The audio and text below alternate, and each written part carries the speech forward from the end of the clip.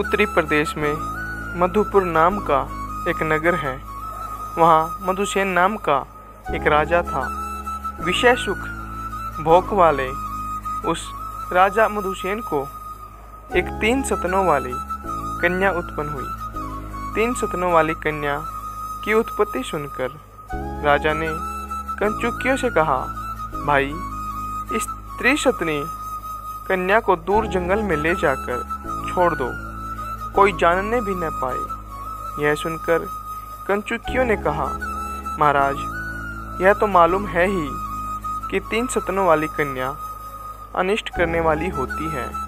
फिर भी ब्राह्मण बुलाकर उसे पूछ लेना चाहिए, जिससे दोनों लोग बने रहे, क्योंकि जो बराबर दूसरों से पूछता रहता है, सुनता रहता है, और यथार्थ बातें धारण करता रहता है।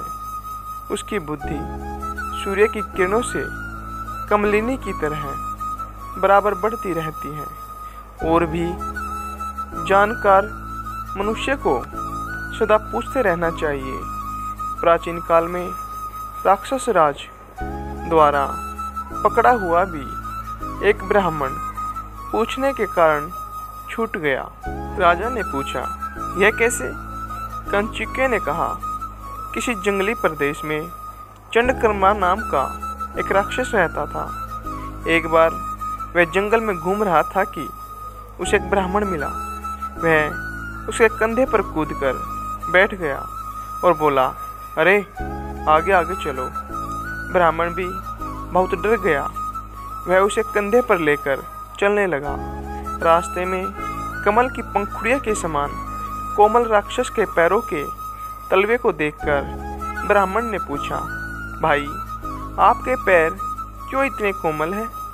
राक्षस बोला, भाई, मैंने व्रत रखा है कि गीले पैरों से भूमि का स्पर्श नहीं करता। यह सुनकर ब्राह्मण अपने छुटकारा पाने का उपाय सोचता हुआ एक सरोवर के किनारे पहुँचा। वहाँ पहुँचने पर राक्षस ने कहा, जब तक मैं स्नान और देव पूजा करके न आऊँ, तब तक तुम इस स्थान से कहीं अन्यतर मत जाना। यह कहकर राक्षस सरोवर में नहाने चला गया। ब्राह्मण ने सोचा कि यह देव पूजन करने के बाद निश्चय ही मुझे खा जाएगा। इसलिए मैं जल्दी से भागूं, जिससे वे गीले पैर मेरे पीछे न आ सके। ब्राह्मण ने वैसा ही किया। व्रत टूटने के डर से राक्षस भी उसके पीछे नहीं गया। इसलिए सब कहते हैं कि जानकार आदमी को भी दूसरे से पूछते रहना चाहिए। बड़े राक्षस से भी पकड़े जाने पर सवाल पूछने से ब्राह्मण छूट गया। उसकी बात सुनकर राजा ने ब्राह्मणों को बुलाकर पूछा, हे ब्राह्मणों, मेरे यहाँ त्रिशतनी कन्या का जन्म हुआ है। इसकी शांति का कोई उपाय है या नहीं? ब्राह्मणों ने कहा, देव, सुनिए, मनुष्य के यहाँ कम अथवा अधिक अंगों वाली जो कन्या पैदा होती है, वह अपने पति और शील का नाश करती है। इनमें से भी अगर तीन सतनों वाली कन्या अपने पिता की नज़र पड़े तो वह तुरंत अपने पिता का नाश कर देती है। इसमें संदेह नहीं। इसलिए इस लड़की को आपको नहीं देखना चाहिए। अगर कोई इस कन्या के साथ विवाह करे तो उसे इस कन्या को देकर देश से बाहर कर दीजिए। ऐसा करने से आपके दोनों लोग सुधरेंगे। उनकी यह बात सुनकर राजा ने डंके की चोट पर मुनादी करा दी। लोगों, इस त्रिशतनी कन्या के साथ जो कोई ब्याह करेगा, उसे एक लाख स्वर्ण मुद्रा उसी समय मिलेगी और उसे देश भी छोड़ना पड़ेगा। मुनादी किए हुए बहुत दिन बीत गए, फिर भी उस कन्या को लेने को कोई तैयार नहीं हुआ। वह जवान होने तक छिपे स्थान में रहकर यत्नपूर्वक पल पोस कर बढ़ने लगी। उसी नगर में कोई अंधा रहता था। उसका मंथरक नाम का एक कुबड़ा आगे लकड़ी पकड़ने वाला था। उन दोनों ने डुग्गी सुनकर आपस में विचार किया, भाग्यवश, कन्या मिलती हो तो हमें डुग्गी रोकनी चाहिए, जिससे सोना मिले और उसके मिलने से हमारी ज़िंदगी सुख से कटे। उस कन्या के दोस्त से, कहीं मैं मर गया तो भी। दरिद्रता से पैदा हुई, उस तकलीफ़ से छुटकारा मिल जाएगा। कहा है कि लज्जा स्नेह वाणी की मिठास, बुद्धि, जवानी, स्त्रियों का साथ, अपनों का प्यार, दुख की हानि, विलास, धर्म, तंदुरुस्ती, बृहस्पति जैसी बुद्धि, पवित्रता और आचार विचार ये सब बातें। मनुष्य का पेट रूपी गड्ढा जब अन्न से भरा होता है, तभी संभव है। यह कहकर उस अंधे ने मुनादी करने वाले को रोक दिया और कहा, मैं उस राजकन्या से विवाह करूँगा। यदि राजा मुझे उसे दे तो। बाद में राज कर्मचारियों ने जाकर राजा से कहा, देव, किसी अंधे ने मुनादी रोक दी है।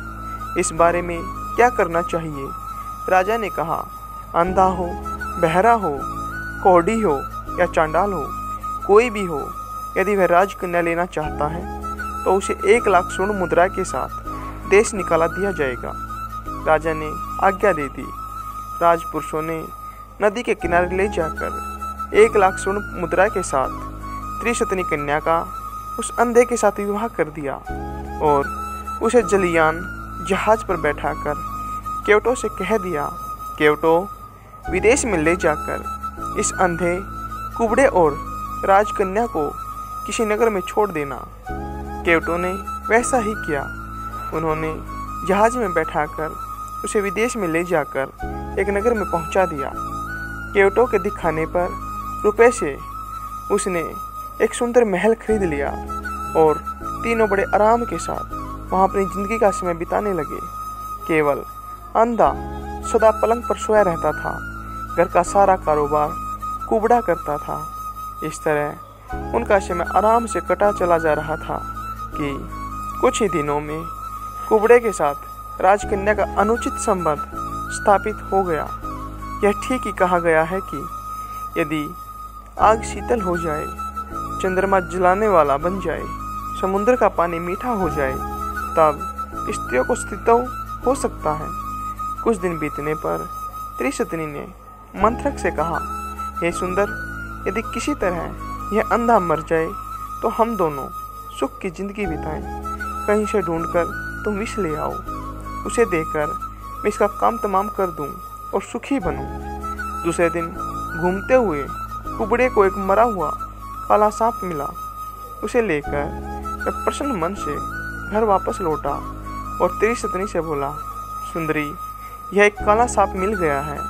इसे टुकड़े टुकड़े काट कर खूब अधिक सौंठ मिर्च डालकर, अच्छे स्वाद का बना डालो। उस अंधे को मछली का मांस बताकर इसे खिला दो।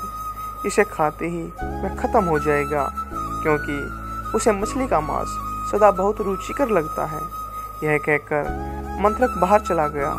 त्रिस्तनी ने तुरंत आग जलाई और काले सांप को टुकड़े टुकड़े काट कर उसमें मट्ठा डालकर चढ़ा दिया। और घर के दूसरे कामों में व्यस्त होने के कारण अंधे के पास आकर विनय के साथ कहा, आर्य पुत्र, आज तुम्हें बहुत अधिक पसंद आने वाली मछली का मांस मैंने मंगा रखा है। तुम हमेशा उसके बारे में पूछते थे। उसे मैंने पकाने के लिए आग पर चढ़ा दिया है। मैं जब तक दूसरे कामों को निपटा लूँ, तब तक तुम करछी लेकर थोड़ी देर उसे चला दो। यह सुनकर अंधा बहुत खुश हुआ। वह जीव चाटते हुए तुरंत पलंग से उठ बैठा और करछी लेकर उसे चलाने लगा। मछली का मांस समझकर कढ़ाई में चलाते हुए उस अंधे की आँखों पर छाया हुआ काला पर्दा सांप की विषैली भाप की गर्मी से गलने लगा। उसे तुरंत बहुत लाभ मालूम होने लगा। फिर तो उसने खूब फैला फैला कर आँखों में उसकी भाप ली।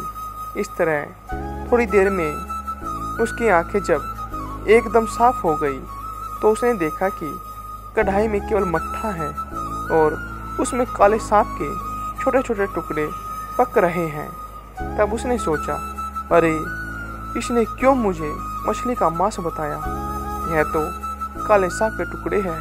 ओह, मैं इसका अच्छी तरह पता लगा लूँ कि इस त्रिशतनी का मुझे मारने का यह इरादा है। या कुबड़े का, या किसी दूसरे ने तो ऐसा नहीं किया है। इस तरह की बातें सोचता हुआ वह अपने इरादे को छिपाकर पहले की तरह अंधा बनकर उसे चलाता रहा। इसी बीच कुबड़ा बाहर से आ गया। उसे किसी का कोई डर तो था नहीं। आते ही त्रिशतनी को आलिंगन एवं चुमनादी करने लगा। उस अंधे ने कुबड़े की सारी करतूत देख ली। उसे जब समीप में उन्हें मारने का कोई हथियार नहीं दिखा तो वह क्रोध से व्याकुल होकर पहले की तरह अंधा बनकर उन दोनों की सैया के पास गया। वहाँ जाकर उसने मजबूती के साथ कुबड़े के दोनों पैरों को पकड़कर अपने सिर के ऊपर घुमाया और घुमाने के बाद त्रिशतनी की छाती पर उसे ज़ोर से पटक दिया। कुबड़े के गिरने से त्रिशतनी का तीसरा स्तन छाती के भीतर बैठ गया। और ज़ोर से ऊपर घुमाने के कारण कुबड़े की टेढ़ी कमर भी सीधी हो गई। इसी से मैंने कहा कि, अंधा कुबड़ा इत्यादि। यह सुनकर सोन सिद्धि ने कहा, भाई, यह सच है, यद्यपि देव अनुकूल होने पर सर्वत्र कल्याण ही कल्याण होता है। किंतु फिर भी मनुष्य को सतपुरुषों का कहना मानना चाहिए। कभी किसी से टूटकर नहीं चलना चाहिए।